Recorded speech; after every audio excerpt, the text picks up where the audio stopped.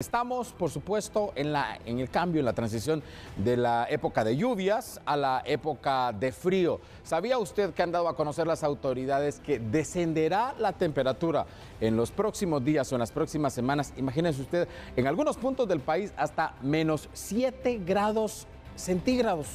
¿Quiere saber usted en qué puntos, en qué lugares? Precisamente para ello nos vamos a enlazar con el periodista Alfredo Mendoza. Alfredo, muy buenos días. Qué fría noticia, por supuesto, nos traes. Adelante.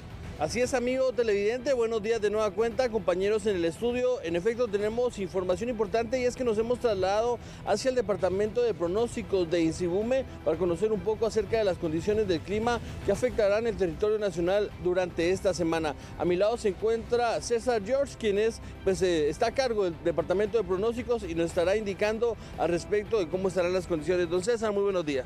Sí, muy buenos días, gusto en saludarle. Bueno, en los últimos días se han presentado lluvias como es normal en el departamento de Petén, franja transversal del norte y caribe del país.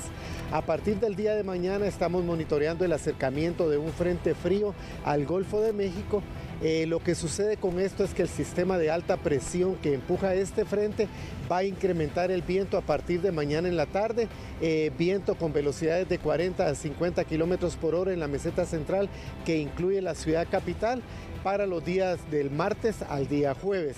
No se descarta que al final de tarde y primeras horas de la mañana pueda presentarse alguna llovizna en la meseta central que incluye la ciudad capital en áreas montañosas. Muy bien, don César, y es que precisamente aunque no nos afecte directamente este frente frío, sí se percibirá en el cambio de las temperaturas. Ya lo han estudiado y analizado ustedes en esta época pues, de frentes fríos, podemos llegar hasta los menos 7 grados. Sí, de hecho en el trabajo de frentes fríos eh, para la temporada 2019-2020 preveemos que en diciembre y enero las temperaturas pueden alcanzar de menos 7 a menos 5 grados en el altiplano occidental. Actualmente en la parte de Todos Santos estamos amaneciendo a 2 grados, en la parte de San Marcos de 4 a 6 y Totoricapán 2 a 4 grados. Para el altiplano central, la parte de Tecpan, preveemos temperaturas mínimas de menos 3 a menos 1 y para la ciudad capital temperaturas de 7 a 9 grados.